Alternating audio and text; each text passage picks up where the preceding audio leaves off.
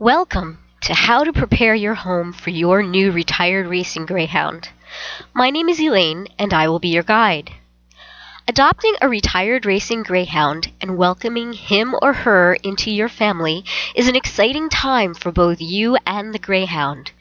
Preparing yourself and your house can help make the homecoming smoother and safer. I will cover nine topics explaining why they are important and how they could be potential safety concerns. I will then give tips for safeguarding you, your family, and your retired racing greyhound. The topics I will cover are the importance of the right collar and leash, identification, fences, feeding and food bowls, supervising and crating, counter surfing and hoarding tendencies, temperature extremes, introducing children and small animals, and training. Okay, let's get started.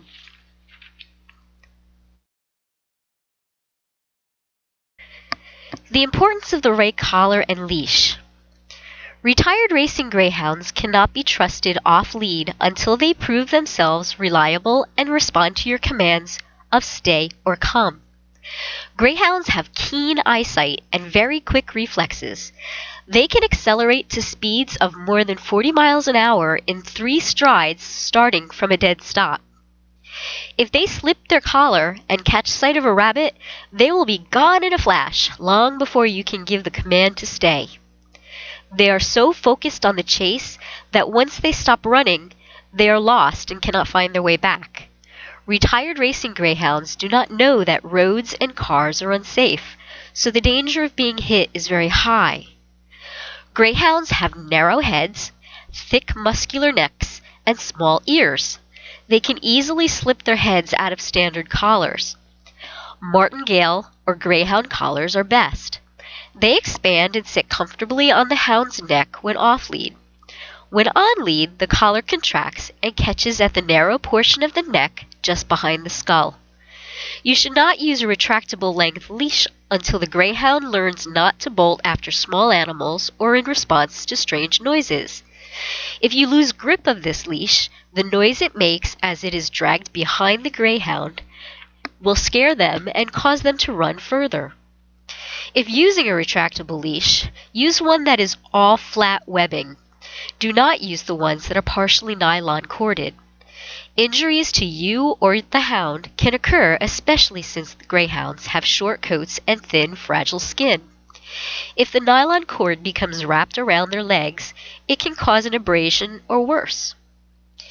E-collars may not be effective when greyhounds are focused on a chase. They just get so focused that they will not notice the zap or just ignore it. The best thing to do is use a martingale collar and a six foot leash, and you and your hound will be safe.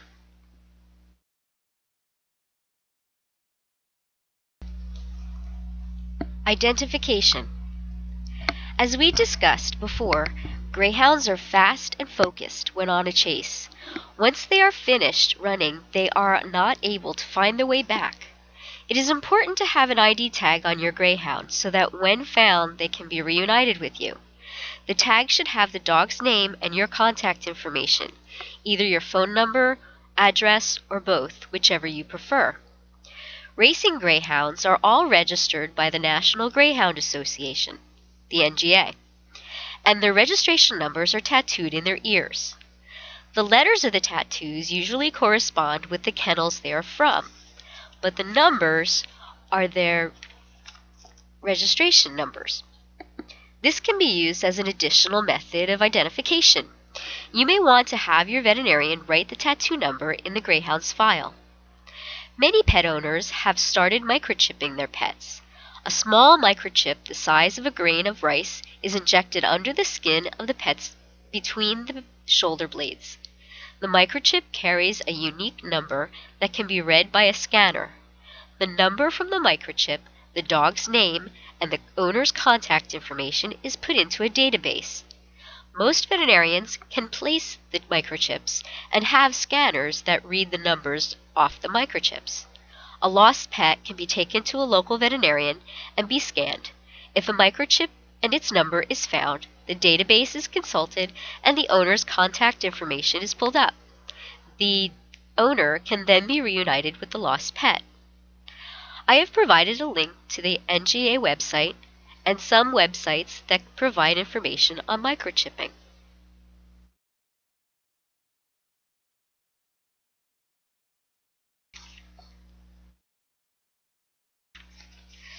Fences, physical barriers.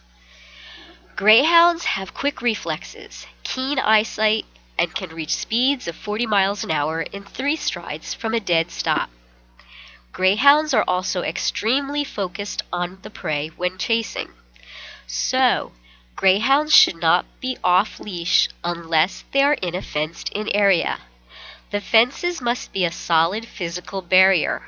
Hedges and split rail fences can be run through. Electronic or invisible fences do not stop a greyhound on a chase. They simply ignore the zap. Usually a greyhound will not jump a fence, but it is wise to have a fence tall enough to avoid the temptation. A 5-foot fence should be adequate for most greyhounds. Keep the fence in good repair and make sure that there are no jagged edges or sharp points that can cause injury to the greyhound's thin skin if rubbed against.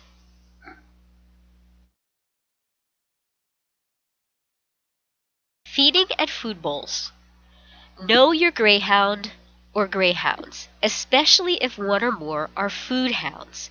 Food hounds live for feeding time and can become very excited or even obnoxious if you do not correct behavior early. Each greyhound should have his own feeding space and his own food bowl. This is very important if you are feeding more than one dog at a time. This helps prevent food-triggered fights or development of food aggression. Meals should be down and the bowl picked up after no more than 30 minutes. If he has not finished by then, he is either not hungry or will learn to eat when fed. This will help you and your greyhound get on a schedule and stay on it. Typically, two small meals a day is better than one large one. Ad lib feeding is not recommended, and the greyhound proofing of storage of food is highly recommended. A food hound will continue to eat even after he has had the proper amount of food he needs. Overeating can lead to obesity, or worse, bloat which is a potentially fatal health emergency. Also, some table foods are poisonous to dogs. Foods like grapes, onions, garlic, caffeine and coffee, chocolate. There are just many of them, and those are just some examples. Since greyhounds are such tall dogs and have long necks, Use of raised food and water bowls is recommended to help take the strain off of their spines and to make it easier for them to swallow. You can simply place the food or water bowl on a raised step or purchase a raised feeding station online or at your local pet store. It is recommended not to use plastic food or water bowls. Some dogs exhibit allergic reactions when fed from plastic bowls. They can lose pigmentation in their nose and develop sores on their noses and lips. Use ceramic or stainless steel bowls. Keep them clean and replace any bowl that becomes chipped or cracked.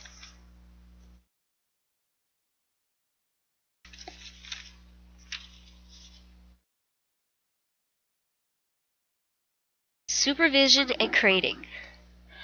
Until you know your greyhound and he can be trusted on his own, he must be supervised. This means you should always have eyes on him. Just like children, greyhounds can get into trouble in a nanosecond.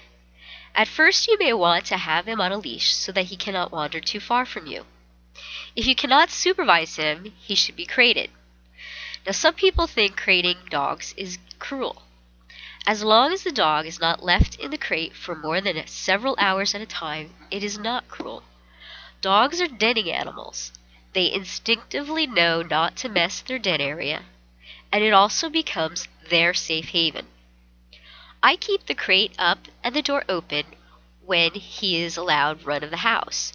When my dog gets tired or has had enough of being around guests, he will go lie down in his crate because it's his own safe place.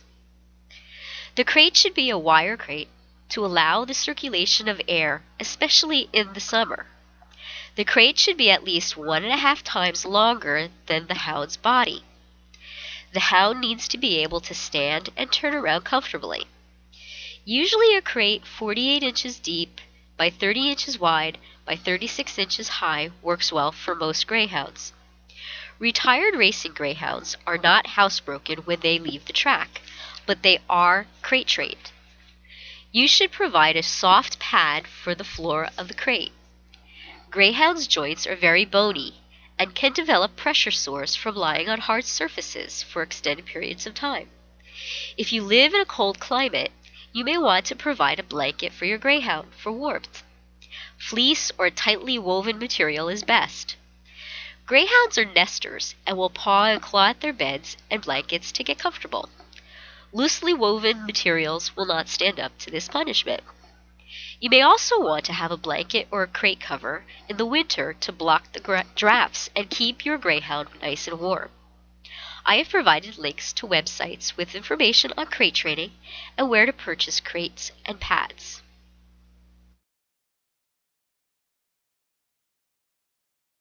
Countersurfing and hoarding tendencies. Retired racing greyhounds are tall dogs. They stand 32 to 34 inches at the shoulder. They also have long necks, which allow them to easily see what is on any countertop. When standing on their hind legs, even the top of the refrigerator is well within their reach. Greyhounds are food driven. Food, regardless if it is fresh or frozen, is not safe if left unattended with even the best behaved greyhound. I defrost my meats in the oven or microwave. Also, be aware that some foods are poisonous to dogs. Onions, grapes, and chocolate, just to name a few. So do not you do not want to have candy, fruit, or other foods out on the countertops or tables when your greyhound is unsupervised. Never keep medication bottles out on the greyhound on the countertops.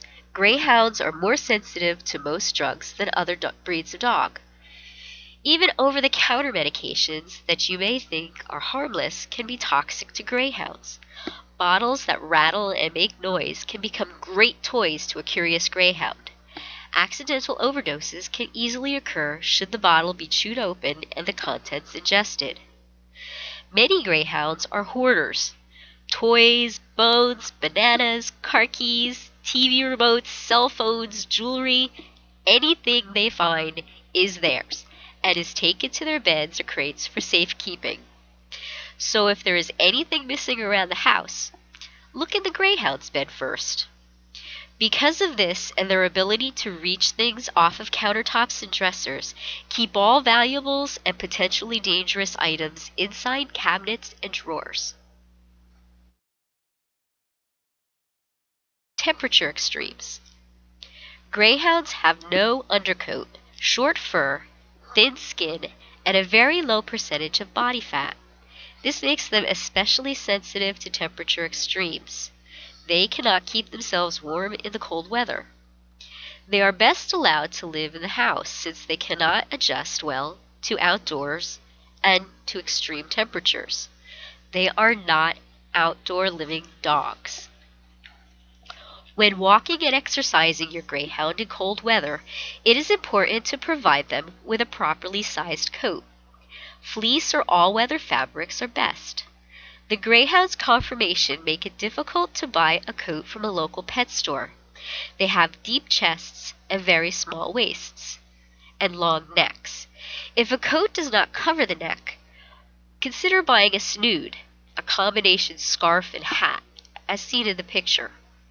There are several good websites that sell coats designed especially for greyhounds. In the summer, when temperatures are hot, greyhounds need shade and extra water. Ice cubes are a great treat, and also a way to slow their intake of water. Not that you want to limit the total amount, but instead you want to prevent them from drinking too much too fast. Greyhounds lose heat or cool down by panting and through the pads of their feet. To help them cool down, provide them with a child's wading pool so they can stand or lie down in a cool, shallow water. I have provided a list of websites where you can purchase coats and snoods designed just for greyhounds. Introducing children and small animals. Retired racing greyhounds have had no experience with children. They also think small animals are prey to be chased. However, some retired racers will tolerate small animals without chasing them. Many rescue groups test the greyhounds to determine their level of tolerance to small animals, primarily cats. This test may not be completely accurate, so take care and supervise all small animal and greyhound encounters. Also, make sure the small animal has a safe haven of its own where the greyhound cannot follow. Supervise all child greyhound encounters. Explain to the child that he or she should not scream, try to hug, or hurt the greyhound in any way, especially for their first meeting. Most greyhounds become very gentle and loyal family members, even becoming very tolerant and protective of the children. It is important for both the greyhound and the children to learn good manners and to respect each other and their toys. This is one example of the importance of training. We will discuss training next. Training. Training is very important. A trained dog is easier to live with and stays safer.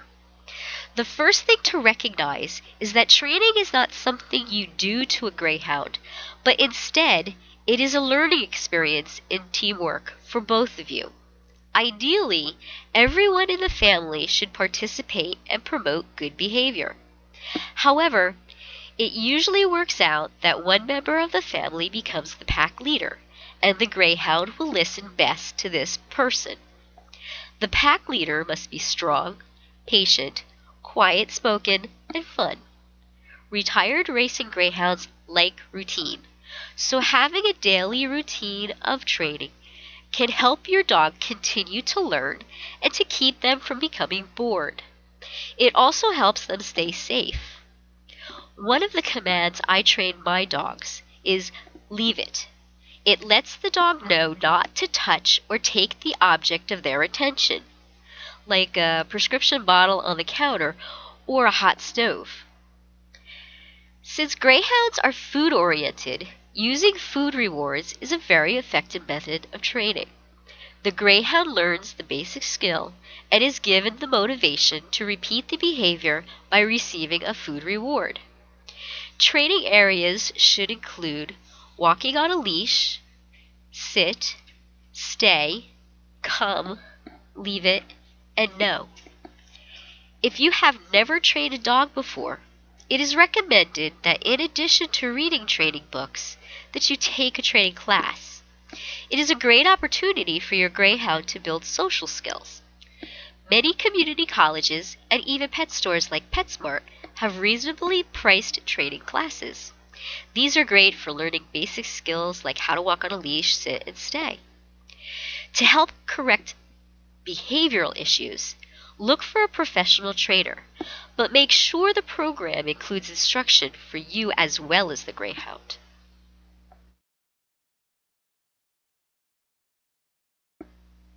Okay, let's take a little quiz and see what you've learned. 1. Which is the best collar to use on your greyhound? A. A choke chain. B.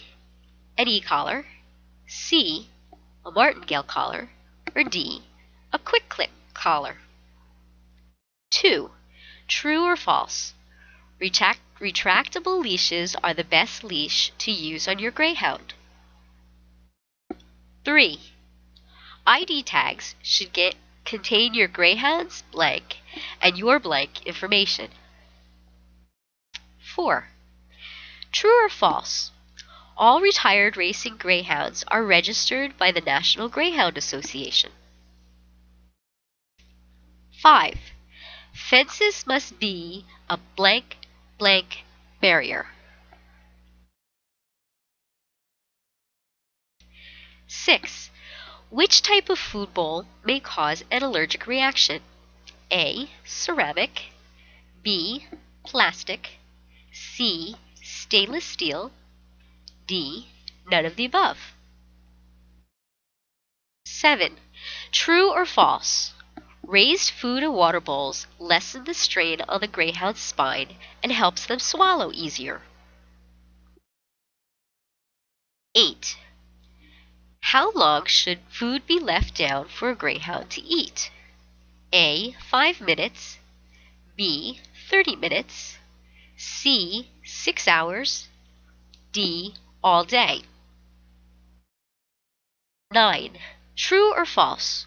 Retired racing greyhounds are already housebroken when they leave the track.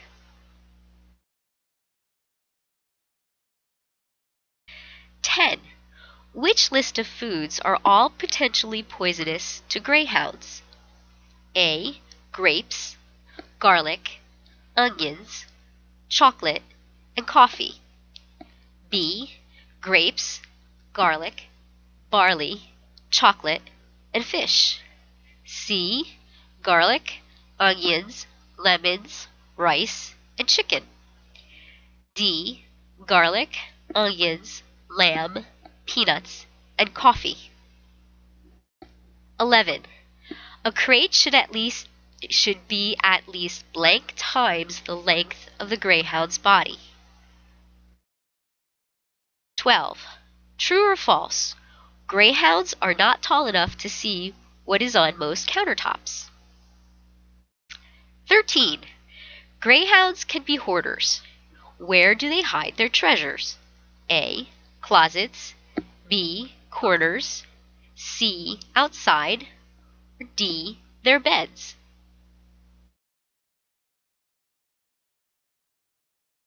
Fourteen. Why are greyhounds sensitive to extreme temperatures? A. They have short fur and no undercoat. B. They have thin skin. C. They have low percentage of body fat. And D. All of the above. 15. True or false? Greyhounds can easily adjust to living outside. 16. True or false? All retired racing greyhounds can never be trusted with children or small animals. 17. Make sure small animals have a blank blank where they can go, but the greyhounds cannot follow. 18. A greyhound can accelerate to speeds of 40 miles an hour in blank strides from a blank blank. 19. True or false?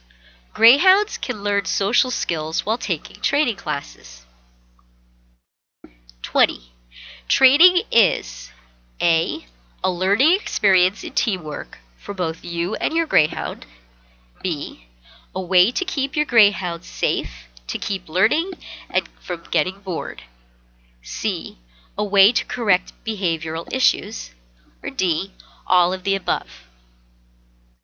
Mail your answers to these questions to this email address, and I will grade your quiz if you get 16 out of 20 questions correct, or 80%, I will mail you a certificate of completion for the tutorial.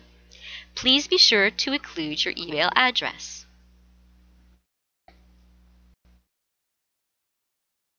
This completes the tutorial preparing your home for your new retired racing greyhound. I hope that I have covered the topics and have answered the questions you may have. I want to wish all the best of health and happiness for you and your greyhound. Thank you.